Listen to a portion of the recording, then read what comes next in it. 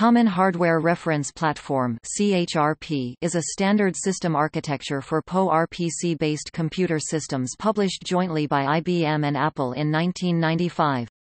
Like its predecessor PREP, it was conceptualized as a design to allow various operating systems to run on an industry-standard hardware platform, and specified the use of open firmware and RTAS for machine abstraction purposes.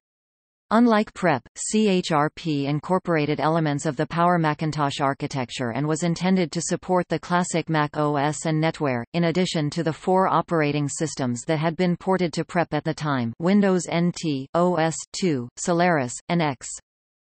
CHRP did not receive industry-wide adoption, however. The only systems to ship with actual CHRP hardware are certain members of IBM's RS-6000 series running AIX. Mac OS 8 contains support for CHRP and New World Power Macintosh computers are partially based on CHRP and PREP.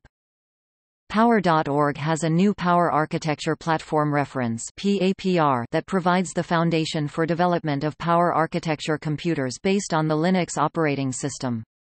The PAPR spec was released fourth quarter of 2006.